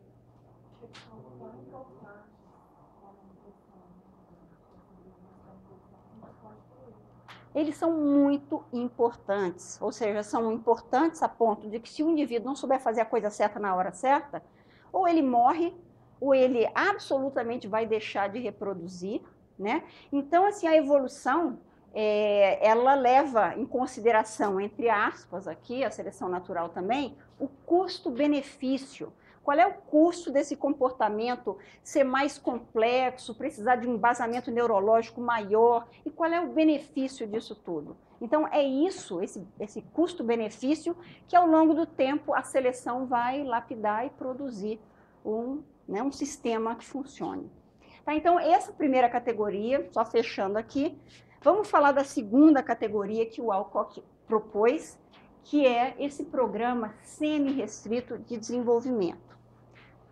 Então, aqui ele está sugerindo que são comportamentos, né? Aqui ele fala semi-restrito. Então, a gente já pensa, ah, são comportamentos que têm uma base é, genética razoável, né? Mas são comportamentos que só vão adquirir essas feições finais, mais completas, depois de alguma, alguma experiência que o indivíduo tem com o ambiente. Então, são comportamentos semi-prontos, né? Que vão ser é, modulados. Vamos ver alguns exemplos disso. Canto territorial de aves, de modo geral, excluindo os cocolídeos, tá? E alguns outros, aqui, só para deixar claro. Aqui são generalizações, a gente sempre vai encontrar exceções para quase tudo que a gente apresentar, tem exceções. Mas, de modo geral, o canto das aves é um comportamento, é, em inglês a gente fala half-baked, né, semi-cozido, que ainda precisa de alguma coisa para ser finalizado. Aí, aquele exemplo que eu dei para vocês, do, do, filhote que bica a ponta do adulto, aquele pontinho vermelho para que o adulto alimente ele, é, os pesquisadores mostraram que os filhotinhos recém-eclodidos, se você fizer um recorte de cartolina que parece remotamente com a cabeça é, de uma gaivota, e você pinta um pontinho vermelho e apresenta aquilo para os filhotes, eles vão bicar aquele ponto vermelho. Mas se eles estiverem é, sendo expostos aos adultos reais ali, eventualmente eles vão rejeitar o seu recorte. Eles vão falar: ah, agora eu sei que isso aqui não é a cabeça da mamãe ou do papai, e eles vão rejeitar. Então, esse comportamento, apesar de inicialmente é, ser quase completo, com uma experiência adicional, o filhote é, rejeita réplicas de bico. Agora ele só quer o bico de verdade. Então, outro exemplo de um comportamento que pode ser aperfeiçoado. Professora, ah, cópula de mamíferos pode ser assim também? Porque tu vê muitas vezes machos jovens, a primeira vez que tu expõe ele ele, ele, sabe que ele tem que fazer alguma coisa, mas exatamente ele não sabe o que é. E a gente normalmente coloca fêmeas maduras que as fêmeas se posicionam, ajudam, até que ele aprende. É, eu acho que você aí vai ter uma variação bastante grande de qual mamífero você está falando, desde mamíferos. Cavalos, cães. É, mamíferos que têm um sistema neurológico já mais é, complexo, etc., provavelmente, e que têm uma vida mais longa, esses possivelmente já têm uma, um aprendizado necessário para aperfeiçoar.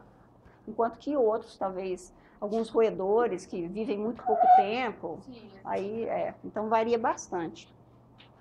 Nessa categoria aqui, é, tem uma em particular, nessa categoria de comportamentos semi-restritos, algumas que eu quero chamar atenção, porque são mais conhecidas, já foram mais descritas, né? Tem uma chamada imprinting, que é bem interessante. Eu sempre tive um interesse grande por imprinting, mas o que é o imprinting? Hum? Impressão, mas o, e no contexto biológico, o que, que é o imprinting? Que eu acho que em português a gente fala imprinting do mesmo jeito, não, não conheço. O imprinting é uma categoria bem interessante de comportamento, porque, na verdade, é uma forma de aprendizado, né? Mas é uma forma de aprendizado bem particular. O imprinting ele ocorre de uma maneira muito rápida, então é um aprendizado rápido e é definitivo. Em geral, ele não se modifica mais ao longo da vida e ocorre somente no que a gente chama de um período crítico. Então, o imprinting é uma janelinha de oportunidade de aprendizado. E o que acontece naquela janelinha é solidificado. É, é uma coisa muito louca, eu acho. Não é a mesma coisa que o período de socialização. Tem a ver com o período de socialização, é que tá. É, um, é uma categoria de comportamentos aprendizados que é, está ligada a muita coisa subsequente, por isso a importância desse período. Então, isso aqui foi uma proposta do Conrad Lawrence, em 1935. Aliás, se vocês lerem um pouquinho da história de vida, da biografia do Tim Berg e do, do Lawrence, vocês vão ver umas coisas bem interessantes. História de vida, eles viveram numa época muito conturbada, né? Da Segunda Guerra Mundial. O Conrad Lawrence, por exemplo, foi membro do... do é, ele foi membro do partido nazista, é, enquanto que o outro, Tim Bergen, se eu não me engano, foi preso, ele era, se eu não me engano, judeu, então, sim, muito conturbado. No entanto, eram amigos, depois, muito complicada a história de vida, vale a pena dar uma olhada.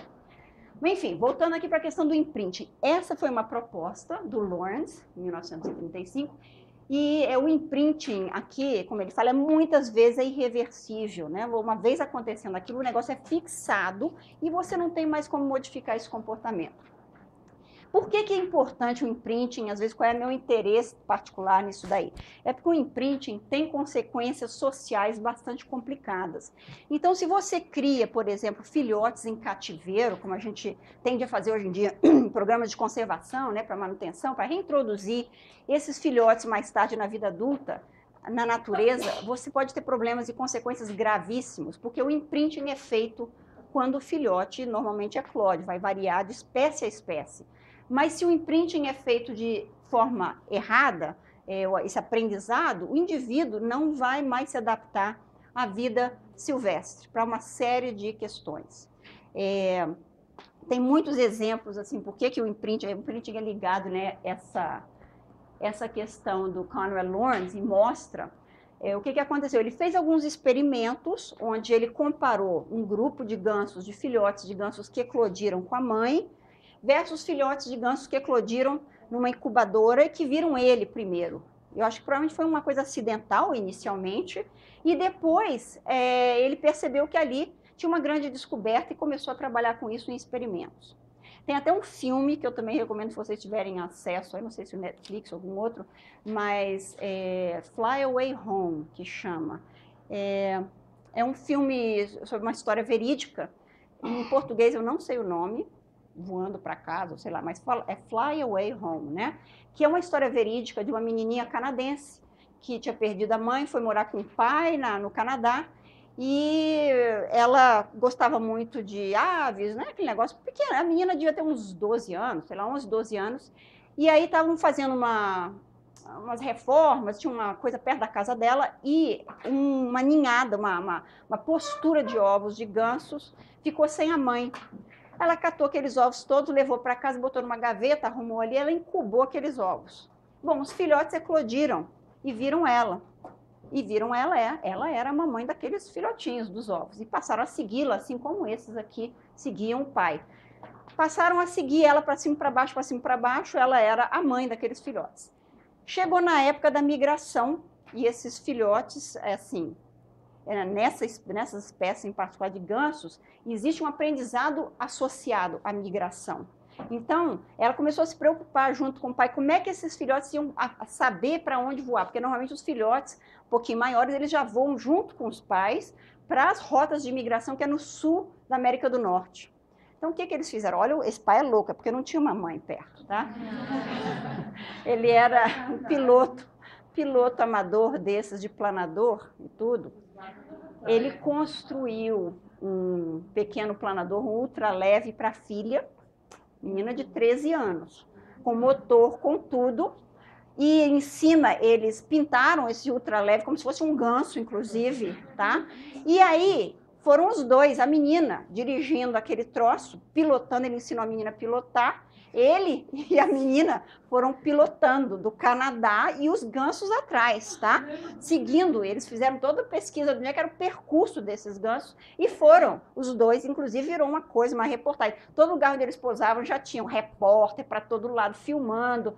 E lá foi a menina e o pai levar os gansos junto com os gansos que foram se agregando aquilo até o sul, lá dos Estados Unidos, até a Flórida tá? Louquinhos, loucos. Mas é uma história legal, vale a pena ver.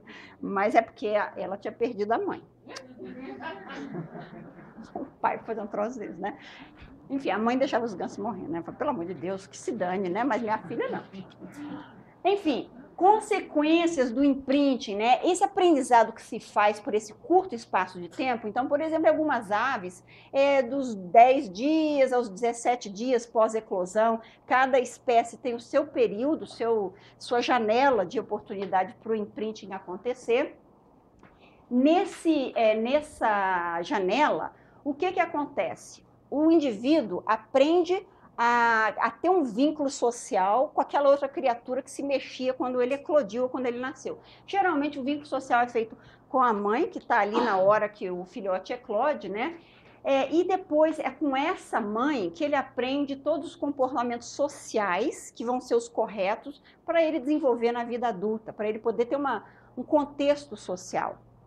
Então, é, no caso do Lawrence, por exemplo, aqueles filhotes aprenderam que ele era o objeto de vínculo social deles. Então, quando eles amadureceram sexualmente na época da corte, eles pegavam comida para fazer a corte, mas faziam para ele, ou faziam para outros adultos, outras pessoas, né?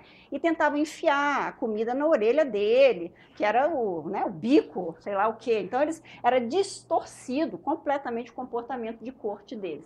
Então, essa, esse imprinting é responsável por esse vínculo. Inclusive, o reconhecimento da espécie correta para acasalar. Se aquela, aquela criatura que esse filhote viu foi um bípede, né, um gancinho, viu um bípede, um mamífero, ele vai tender a ter esses comportamentos direcionados, então, para um outro indivíduo de uma outra espécie. Ele procura também proteção com esse indivíduo com o qual ele fez essa, esse, esse vínculo social, vai buscar esse tipo de indivíduo também para é, proteção. Então, esse imprinting é um exemplo de categoria de comportamento que está nessa, nessa categoria maior, chamado de semi-restrito, né? comportamentos que ainda precisam de algum, é, alguma experiência ambiental.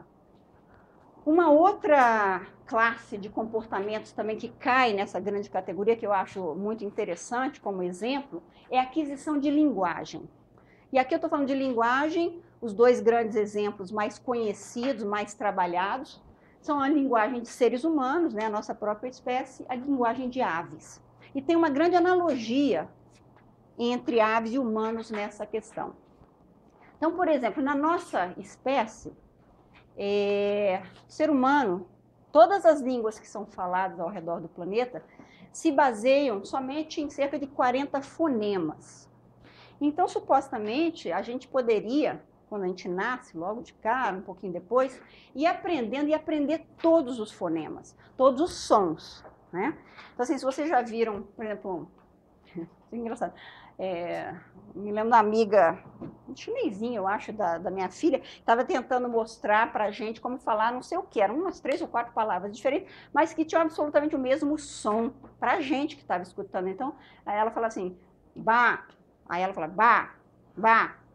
E eu falava, mas é igual. Não, claro que não. Ba, ba. E assim, a gente não escutava a diferença desse fonema. Tá? Tinha alguma coisa ali. Por exemplo, aqui vai um exemplo em português para inglês. É, eu que sou né, gringa, meio gringa, tudo. Essa é uma particularidade quando, quando brasileiros aprendem inglês, a diferença entre beach e bitch. É difícil, né? Então, assim, eu não sei se as pessoas não conseguem escutar a diferença beach e bitch. Tem uma diferença, não tem? Todo mundo escuta. Mas é difícil, né, para fazer essa diferença. Então, são esses os fonemas. É aquisição de fonemas na nossa própria espécie e aquisição de sons, de sílabas para aves é um processo muito semelhante para aves e para seres humanos. Eu vou mostrar para vocês aqui como são essas analogias. O que, que acontece e por que, que é um programa semi-restrito? Então, os paralelos que foram feitos, foram, o estudo foi feito com é, Zonotrica leucófres e seres humanos. Então, tem uma série de coisas aqui, de características, que eles estudaram que mostraram o seguinte: o passarinho, mesmo que criado em cativeiro em laboratório, quando é apresentado para ele sílabas específicas de canto, ele fica super esperto. Ele ouve aquilo, começa a dar uns pulinhos, sabe? Você mede uma atividade maior. Isso, em seres humanos, é igual. É, quando uma, um bebezinho, e aí também fizeram experimentos, tá? Lá no hospital, com, né? Bota o nenenzinho, o nenenzinho isolado, as mães têm que concordar com isso. Mas assim, o nenenzinho fica lá isolado, não ouviu nada ainda, talvez intrauterino, ele tenha escutado alguma coisa. Mas eles fizeram uma medição muito interessante para ver como é que bebezinho aprende fonemas. Então, o que, que eles faziam? Dão uma chupeta para o bebê, chupeta está ligado lá com um eletrodo, com não sei o quê, com uma máquina lá, que mostra ritmo de sucção na chupeta, como um indicador de interesse do bebê. Aí eles botam um fonema qualquer, né? É, sei lá, ba. Aí o neném fica alucinado na chupeta, ba. Aí repete, ba, ba. Aí ele vai ah, perder o interesse. Tá? Aí começa um fonema diferente, ri. Aí o neném alucina de novo, tá? Aí vai decrescendo. Então, essa atenção específica a fonemas ou a sons é análogo nas duas é, espécies. Depois, outras coisas que eles mostraram, mais tarde eu vou falar um pouquinho mais sobre isso, mas Zonotrica leucófres. Essa atenção aos fonemas, ou seja, o aprendizado desses fonemas, ocorre somente num período crítico. Hoje em dia a gente sabe que para espécies diferentes, esse período crítico de aprendizagem de fonemas vai variar. Às vezes é de 2 a 21 dias, às vezes de 9 a 10, é bem curto, outras espécies é mais comprido. Na nossa espécie, nós também sabemos que isso é verdade. Então, se a gente aprender, é, a gente pode aprender, eu nem sei quantas línguas, mas muitas. Nós já tivemos também é, essa amiguinha da minha filha, inicialmente, que foi, ela tinha um pai de uma nacionalidade, a mãe de outra nacionalidade, nasceu na China, ou sei lá onde, tinha uma babá de uma outra nacionalidade, veio para o Brasil. Ela falava umas seis ou sete línguas diferentes, essa criatura, tinha uns sete anos, Claro que falava às vezes uma língua e a gente fica, bom, não sei qual é a língua que ela falou agora, mas ela sabia exatamente o que ela estava falando, tá? E ela, ela dominava essas línguas diferentes. Ela foi exposta a todas essas línguas, ou seja, esses fonemas diferentes, numa idade muito tenra. E como vocês todos sabem, se essa idade passar e a janela fechar, a gente fica lascado, né? Que depois é um sofrimento para aprender outra língua, né? Oi. Mas eu já ouvi alguns você expor a criança a duas ou mais línguas diferentes quando ela é muito pequena pode ter um pode não ser muito bom, bom para o dela, porque ela começa a misturar as coisas. Ela começa a falar metade de uma frase em uma língua, metade na outra, Sim. e falar algumas palavras. E aí isso, alguns especialistas falam que é melhor não, que é melhor você ensinar uma língua para a criança até os 6, 7 anos, depois você começa But I think that's their opinion. Hum.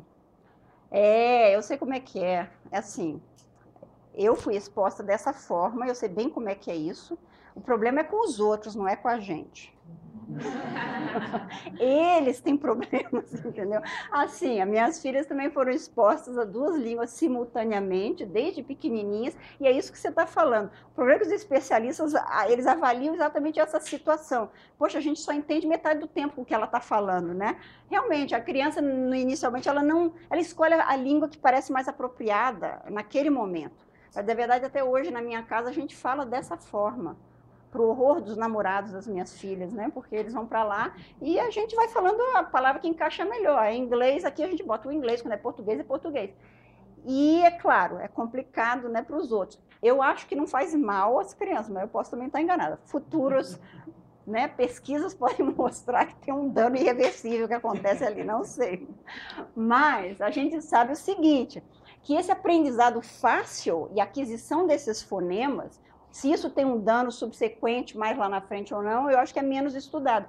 Mas que esse período crítico ele se fecha também, se fecha no ser humano por volta dos oito anos de idade.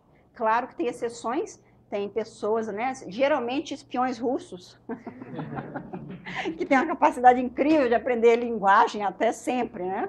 A gente sabe desses casos também. Mas, geralmente, com os oito anos, fica muito mais difícil de um aprendizado, não é que seja impossível, claro que é possível, só que com muito mais, é, mais sofrência. É, outra coisa interessante também, que passarinhos, inicialmente, quando aprendem um canto, eles têm um canto chamado desestruturado, não é um canto de um adulto da espécie deles, e a gente sabe que na nossa é, espécie também, a gente chama de tati-bitati isso, né? Tem inclusive aqueles pais mal informados que acham engraçadinho os, os que que os filhotes, que, que, que os, os as crianças estão tentando fazer. Elas estão escutando os adultos para ir aperfeiçoando o tati-bitati. Aí os adultos falam em tati-bitati também para elas. É fabuloso isso, né? Em vez de é, criança aprender a linguagem, o adulto aprende o tato habitat das crianças. É, a outra coisa é interessante é que o passarinho, com esse canto desestruturado dele, para ele aperfeiçoar o canto eventualmente, ele tem que escutar ele próprio cantando, para ele acompanhar a desestrutura do canto dele, comparar isso com o canto mais perfeito que ele ouve dos adultos ao redor dele. E na nossa espécie, idem. A gente sabe que o que a criança está fazendo à medida que ela fala, ela escuta a linguagem ao redor e ela vai modificando. Então, quando ela fala plato, eu quero um plato, eventualmente ela não, prato, prato, aí eventualmente ela fala prato em vez de plato. Né? Tanto que é, é uma grande dificuldade a gente falar, ah, pessoas são surdas, mudas, elas não são geralmente mudas também, elas são surdas e elas podem falar e muitas aprendem a falar mas têm grande dificuldade porque elas não conseguem escutar o que elas próprias estão falando. Né? O que mais? É... Vocês não sabiam, talvez, ou sabiam, não sei, mas passarinhos da mesma espécie também têm dialetos. Então, nós temos os passarinhos nordestinos, temos os passarinhos centrais, temos os passarinhos gaúchos, tá? que cada um tem o seu dialeto. E a gente tem, obviamente, a mesma coisa na nossa espécie. Então, uma aquisição local de linguagem com características regionais. E, finalmente, uma vez solidificado o canto, esses passarinhos cristalizam esse canto e dificilmente fazem modificações. Então, o canto fica fechadinho e resiste a modificações.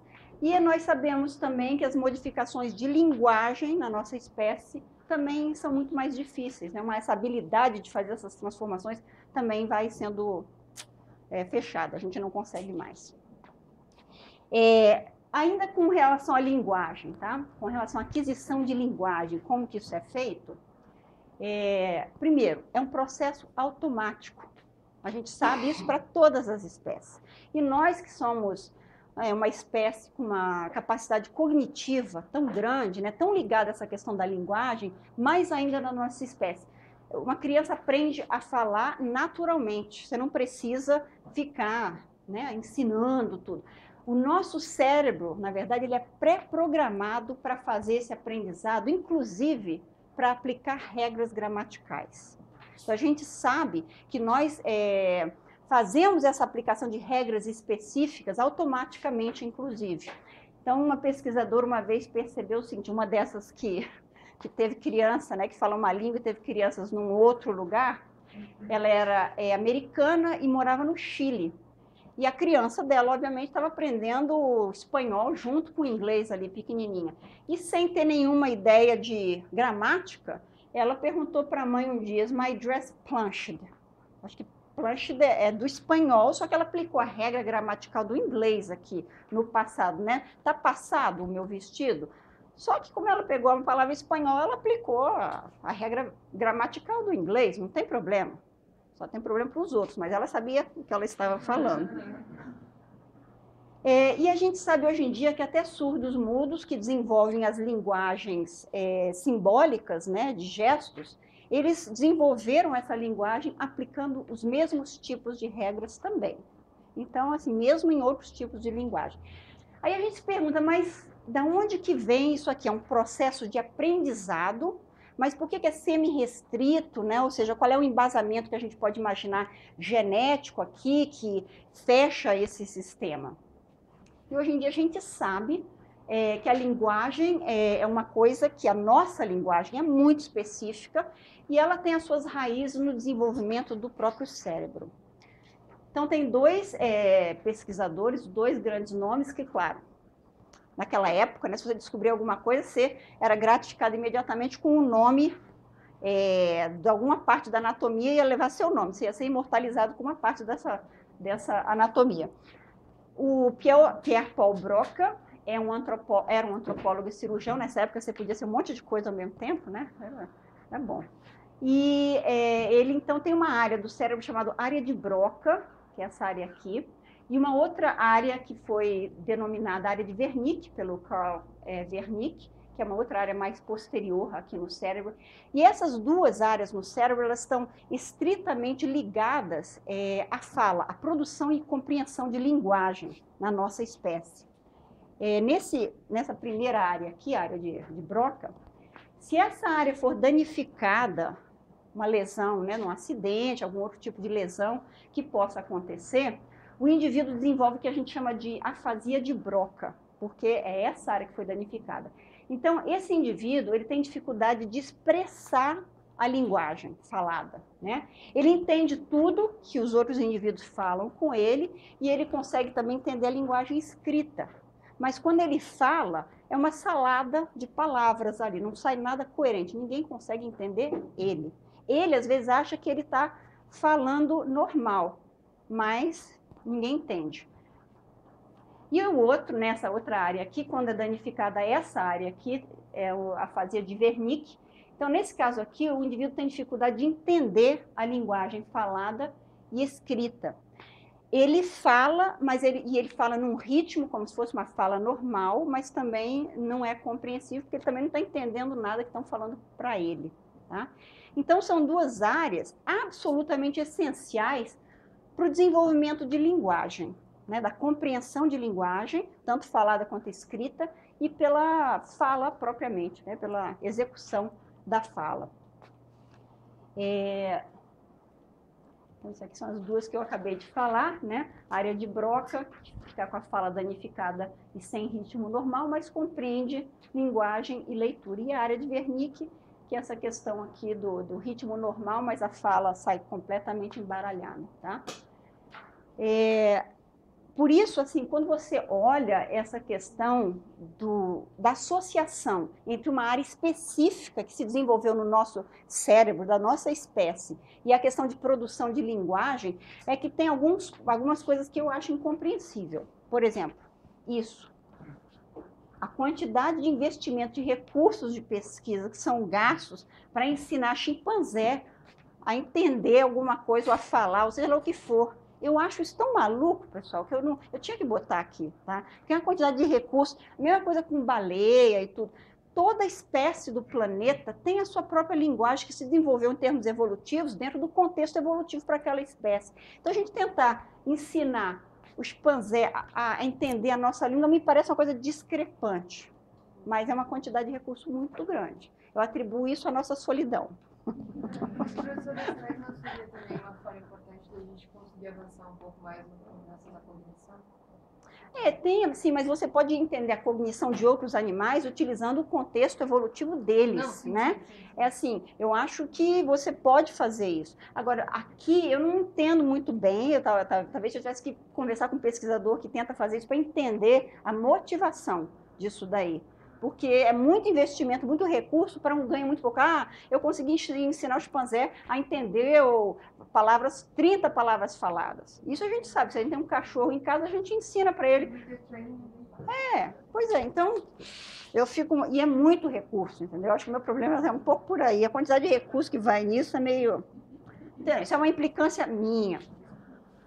Então, finalmente, né? O terceiro é contexto aqui, dentre esses, essas categorias que o Alcock sugeriu, seria o terceiro é, programa, né? Só que agora é um programa flexível de desenvolvimento, que seriam comportamentos altamente modificados, é, se baseiam no aprendizado, muita experiência. Aqui a gente tem uma série de comportamentos que são comportamentos condicionados, né? A gente executa aqueles comportamentos de tal forma, com tal repetição, que eles são é, meio que incorporados na, na, na, vivência do indivíduo. A gente tem aqui uma série de comportamentos que a gente é, olha em volta e a gente fala, nossa, né, onde é que, será que isso daí é do indivíduo mesmo? Mas muitas vezes é pela imitação, ou seja, é um comportamento aprendido, muitas vezes por imitação. Esse tipo de comportamento, quando a gente pensa de condicionamento, que é um comportamento aprendido, você, quando você fala, eu vou condicionar é, o meu cachorro a, sei lá, a não subir no sofá, eu vou condicionar meus filhos a sei lá o quê, né? Você está falando de, você vai ensinar aquele comportamento, uma associação tão forte que aquele comportamento vai se tornar meio intrínseco, mas é um comportamento aprendido. Tem uma dúvida?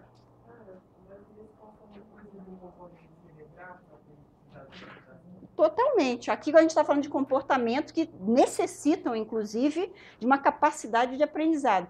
Muito difícil. Quer ver um exemplo de um comportamento que você pode tentar? Se quem tiver um cachorro, na verdade, eu, eu acabo testando algumas dessas coisas, né? É, com os cachorros, quando minhas filhas eram pequenininhas, eu às vezes experimentava para ver com elas como é que funcionava. E, mas, por exemplo, você pega um cachorro com uma, uma correia comprida, e você está andando com o cachorro e tem um poste aqui, e você vai para um lado, o cachorro vai para o outro. Ele vai tentar continuar puxando, puxando, puxando, mas ele não vai voltar para cá. Ele pode, ele não parece que ele não enxerga que tem essa tira aqui que está prendendo ele no poste. Aí você fala, nossa, mas cachorro burro sou, né? Como que pode? Mas se você pegar um esquilo, esquilo, que é aqueles esquilos arbóreos americanos, você fizer o mesmo experimento com ele, ele vai voltar. Aí ele vai dar a volta no poste. Aí você tem que se perguntar, por quê? Fazer uma parênteses, meus cachorros todos dão a volta no poste. você ensinou? É ah, não, pois é, mas assim, não é uma coisa espontânea, tá? Não é, então, eu não, eu não é, mas você vai... Mas espera, espera, espera. Puxa, Deus, ele, ele, ele, vai, aprende. ele aprende. Mas não é uma coisa espontânea. Já o esquilo, rapidinho, ele Sim. faz a volta. É. E isso tem a ver com o contexto ecológico. Né? Um esquilo, ele tá, é um mundo tridimensional, onde ele percorre galhos, ele vai, ele volta. Ele... Então, cachorro não, é um, é um bidimensional, ele está acostumado a ir na frente. Por que, que ele tem que ficar voltando, indo, voltando, indo para experimentar? Não. Então, quando a gente vê comportamentos, especialmente comportamentos aprendidos, a gente tem que tentar lembrar que existe um contexto evolutivo e ecológico para o que o indivíduo tem facilidade para aprender ou tem mesmo capacidade de aprender. Então, o, o, grande pai dessa área aqui, que tem um pouquinho de conflito, às vezes, com a, a maneira mais evolutiva de enxergar comportamento, é o Skinner. Tá? O Skinner era da área da psicologia e a psicologia, é, em grande parte, eles trabalham com animais, é, menos, digamos, animais, uma diversidade menor de espécies, então às vezes são pombos, é, ratos, etc., e muito ser humano. Então é claro que a visão é de que a flexibilidade comportamental existe e é grande, você pode treinar o indivíduo a fazer praticamente qualquer coisa. Então, se você tem uma caixinha de Skinner, você bota o ratinho dentro, você tem uma recompensa ou então uma punição, né, um choque como punição, às vezes uma comida como recompensa, você treina o ratinho a fazer um monte de coisas. E aí você vai ficar mesmo com a cabeça, uau, você pode treinar o bicho a fazer qualquer coisa. Ele faz o que você quiser, se você der a recompensa certa, ou a punição certa. Quem tem filho sabe que isso não é verdade. Quem tem filho aqui? Tem gente com filho? Olha. Hã? Também serve. Então, a gente tenta condicionar um monte de coisa, né? Mas às vezes não funciona. Mas, de qualquer maneira, essa escola skinneriana, eles têm uma visão de que o controle do comportamento é relativamente simples frente a estímulos e punição é, que você pode ter um, uma meta de um comportamento que você quer ensinar para o bicho, que você recompensando, né, sequencialmente, você vai chegar lá. Ou então, você punindo, você vai chegar a, a, a um resultado qualquer. É, eu acho que, de modo geral, essa visão, se bem que hoje em dia está tendo uma interação maior, especialmente no, no primeiro mundo, aqui no Brasil, essa visão ainda está muito incipiente, digamos, se bem que tem escolas hoje em dia de psicobiologia, até no Brasil, que tem uma visão de que o comportamento humano, inclusive, tem uma base biológica. É, porque quem trabalha com comportamento do, da perspectiva evolutiva não acha que comportamento é assim tão maleável, tem limites para essa maleabilidade. Mas quando a gente olha é, algumas, alguns exemplos, a gente fala, nossa, mas é muito maleável, dá para fazer quase qualquer coisa. Né? A gente pode ir, ir num circo, você vai ver um tigre obedecendo alguém com um chicote, pulando por uns círculos lá de fogo, você vai ver, é, sei lá, ursos andando de bicicleta, o outro animal ali equilibrando em cima de uma bola. Obviamente, tudo aquilo foi treinado para chegar naquele ponto. Então, você pode modificar um comportamento de um, um urso para ele andar de bicicleta. Né? Então, uau, tudo é possível. Na nossa, na nossa espécie, então, mais ainda. A gente sabe que com o treino a gente pode, inclusive, controlar o ritmo cardíaco da gente. Né? Poxa, podemos fazer tudo. Ou não. Então, eu sou do não. Tá? É, eu acho que nem sempre tudo é modificável frente ao treinamento, ao aprendizado, nem fácil e nem evolutivamente possível, às vezes, você ensinar certas coisas.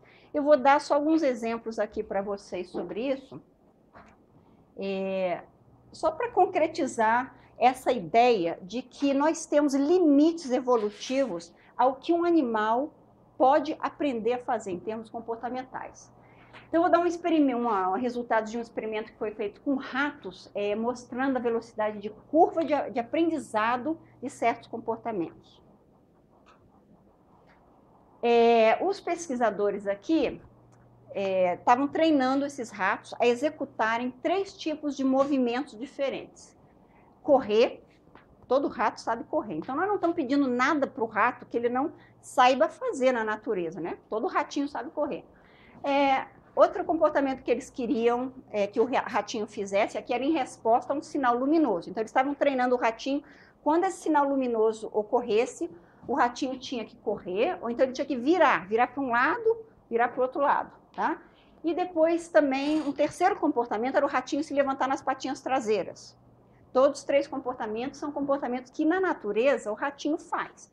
Ele corre, ele olha para um lado, ele olha para o outro, ele levanta nas patinhas traseiras. Então, os pesquisadores não estavam pedindo para o ratinho voar, tá? Então, o que, que aconteceu aqui, né? É, eles estavam é, treinando os animais com choques, então, quando o, o animal executava corretamente esse comportamento, ele não era punido com choque. Se ele fizesse a coisa errada ali, ele levava um choquinho.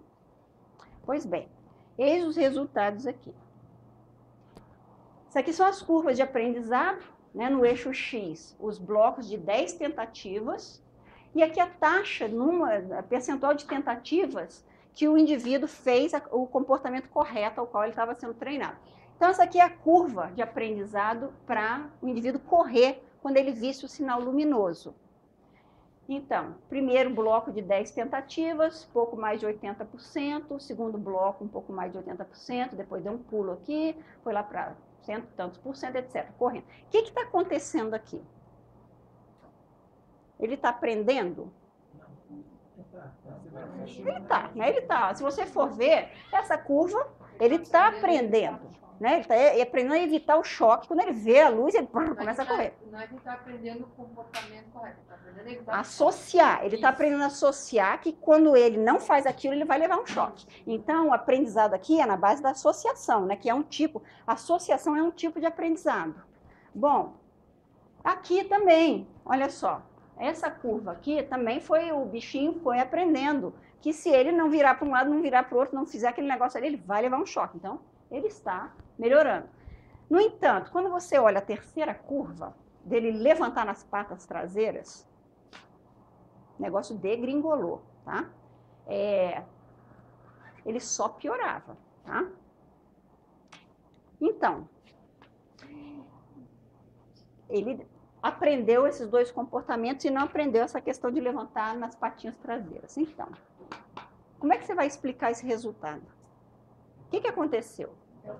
Para botar as duas patas no alto, se ele recebesse o choque, ia ser muito mais intenso se ele tivesse com as quatro patas. Não. Essa não foi a explicação que eles deram. Acho que os dois primeiros comportamentos estão mais relacionados ao comportamento natural do rato quando ele entra em estresse. Tá vendo? Então, pensa só, o bicho, na natureza, o ratinho, o choque é uma coisa física, é uma coisa desagradável física. Isso na natureza está associado a que tipo de coisa desagradável que pode acontecer com ele? Hum? Predação. O predador pode lhe dar uma boa mordida. Ou seja, ele associa dor, predador, dor, coisas ruins na natureza. Se ele vê um predador, o que, que é que ele faz? Foge. Ele foge. Uma outra estratégia de aprendizado seria melhor para fazer ele levantar, por exemplo, ao invés da dor, usar isso. Mas eles estavam vendo aqui, o que eles queriam ver era exatamente isso. Era, será que ele aprende a associar todos esses comportamentos naturais a um tipo específico de estímulo? Então, na natureza, o que acontece? Esse bicho, quando tem um estímulo ruim, que é um predador, ele não vai ficar lá plantado que nem um idiota de patinha para o ar né? Aí é que ele vai ter uma recompensa bem ruim na natureza. Vai ser papado ali rapidinho pelo predador. Quando ele vê um predador, ele tem que correr, ou então ele tem que olhar para os lados para ver para onde que ele vai. Então, nesse contexto, esses estímulos aí funcionam porque tem uma ligação com um comportamento que naturalmente ele executaria com esse tipo de estímulo. Então não adianta você tentar ensinar ele uma coisa que apesar dele saber como fazer, evolutivamente não é uma resposta natural ao estímulo de dor. Deixa eu mostrar para vocês, é, então, outro, outro exemplo disso, né? É, então, esse tipo de entendimento dessa questão de, de aprendizado, contexto do aprendizado, é, levou, digamos que é um consenso, pelo menos entre ecólogos comportamentais que trabalham com a evolução do comportamento, que existem essas restrições evolutivas para o processo de aprendizado. Ou seja, você não consegue ensinar tudo para todos, para em termos de espécies diferentes que evoluíram em contextos diferentes, né? É, ou seja, a gente está pensando que essas associações são mais fáceis de serem estabelecidas quando elas são biologicamente significativas nas condições naturais né, que, que o, aquela, aquela espécie evoluiu naquelas condições. Então, ela evoluiu, inclusive, a capacidade de aprender certas coisas melhor do que outras. Então, no laboratório, o aprendizado, se você direcionar para esse lado, você vai conseguir estabelecer essas associações.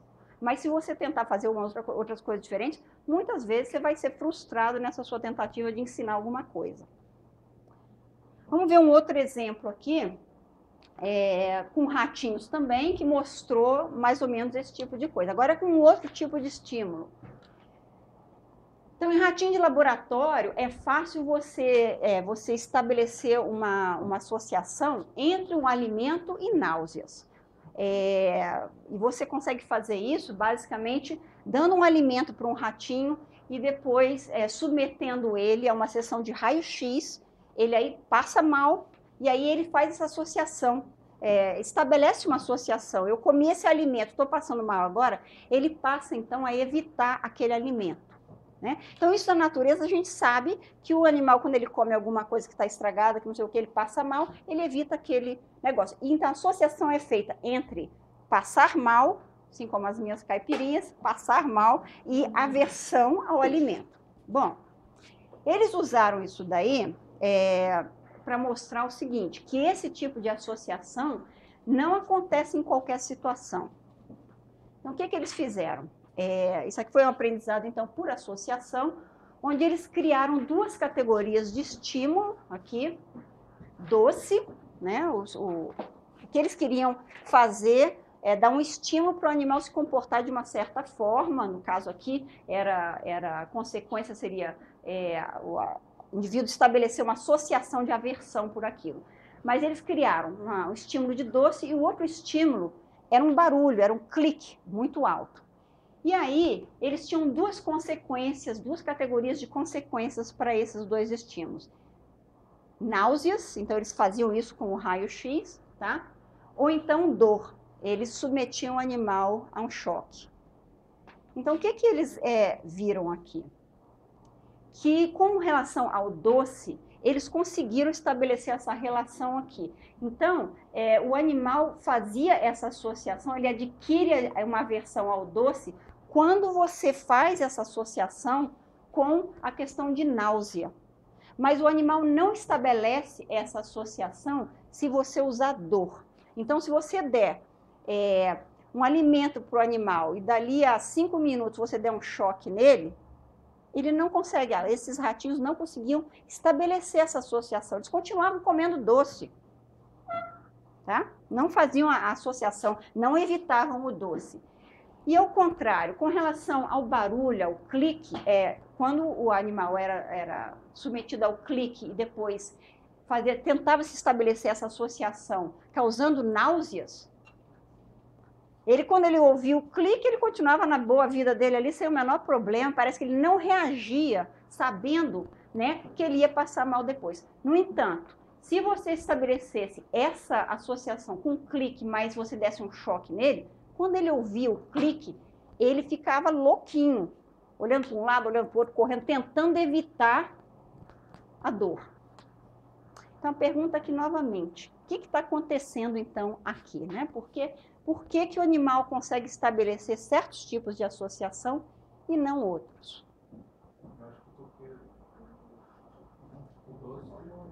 Doce está tipo, então é mais fácil ligar com a nossa que com a dor. Ao passo que o clique uma dor é mais fácil de imaginar que talvez seja um, só um predador. Então, novamente, aqui, o que os pesquisadores demonstraram é que as associações se formam num contexto que faça sentido. Né? É, a, o doce aqui, como é que, em termos evolutivos, comer alguma coisa estaria associado a levar um choque? Em que mundo seria isso? Tá? Não é um mundo em que aquela espécie evoluiu. E da mesma forma, um barulho aqui, quantos de vocês, ao ouvirem um relâmpago, depois vão, sei lá, achar que isso está associado a um enjoo no estômago, alguma coisa assim. Não, essas, essas relações não acontecem evolutivamente falando. Então, você estabelecer isso por aprendizado, e associação é um tipo de aprendizado, na natureza, fazendo isso, esse tipo de experimento, é, é bem difícil. Quanto hum. tempo depois, por exemplo, meu dor de? Nesse caso aqui era de 5 a 7 minutos. Mas tá? Se fosse um é. choque, imediatamente ele pegar o doce, associaria? Talvez, Sim, aí teria que fazer, né, para ver qual é o tempo de associação necessário é. para acontecer aquele negócio, né? Só que eles mantiveram o mesmo tempo e mostraram, né, é que em duas categorias diferentes, se mantendo o tempo, eles conseguiram fazer essa associação. Então, assim, são elementos como esse que mostram é, que esse aprendizado, né, é, essas associações, às vezes, são aprendidas somente naquele contexto é, que seria necessário para o animal, tá? Então, rapidamente agora, pessoal, já são 10 para meio-dia. É, na segunda parte da aula eu vou ser bem mais rápido, né? A gente vai acabar um pouco mais cedo. Mas nessa aula, então, eu mostrei aqui para vocês essa série de é, questões, né? Dicotomia comportamental, instinto e aprendizado, essas categorias mais flexíveis, digamos, aqui para classificar comportamentos. Falei do padrão de ação fixa, imprinting, esses três pesquisadores, cujos nomes eu espero que vocês lembrem, e o contexto evolutivo para aprendizagem. E pergunta, sim? Eu queria saber se esses limites evolutivos né, que são impostos às condições naturais, eles também são aplicados aos seres humanos também? Com certeza. Com certeza, nós vamos chegar lá no ser humano. Nós temos limites muito mais flexíveis, muito mais abrangentes, capacidade cognitiva. Quanto maior a capacidade cognitiva, maior a possibilidade de modificação comportamental. Ok? E por último, só para vocês não irem embora é, sem a mensagem do dia, tá? Sim, perdemos, perdemos uma grande mente, tá? Oi.